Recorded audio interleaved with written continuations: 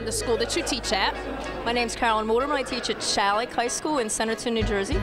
Okay. And tell me about the piece Goodbye uh, Manhattan, Hello London. Can't read my handwriting.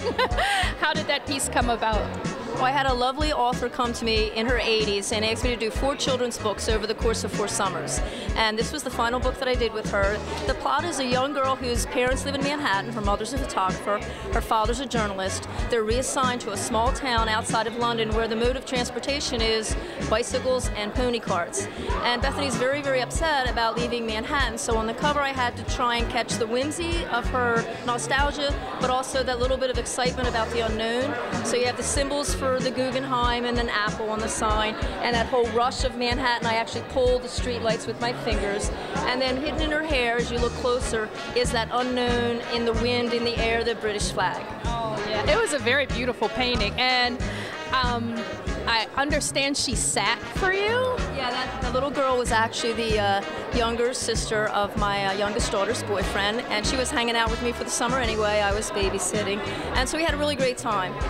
Did that present any challenges? Usually, having a, ch a child sit or interviewing children tends to have a unique challenge to them. Well, that's where the educator in me came into play. I would keep my palettes from the day's work and let her play with them. So lots of times she was working on something and then I would groom her and coach her for what I needed her to do with the pose. And she would literally just leave what she was doing creatively and strike the pose very quickly. So I felt that left some of that spontaneity in, in the photo shoot that I was working from. And uh, the, my favorite thing, though, is the color in her eyes. I would like to add something. That summer, I was in a very bad automobile accident, and the month of July, I had two neck vertebrae fused. I couldn't drive the month of July, and this is for all of those artists who work best under pressure. In the month of August, I had 23 canvases to do.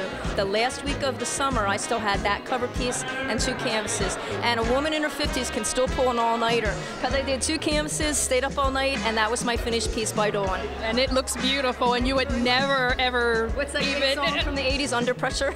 right? I love the '80s. Thanks a lot. Well, I'm not done. I wanted to know what advice you would give to young artists. How do you inspire the children that you teach? Um, well, my one motto is time is art. Uh, if they think that they want to become an artist, then they have to be able to find the time, make the time, and sacrifice the time. Good voice, good words. Thank you so much. Thank you.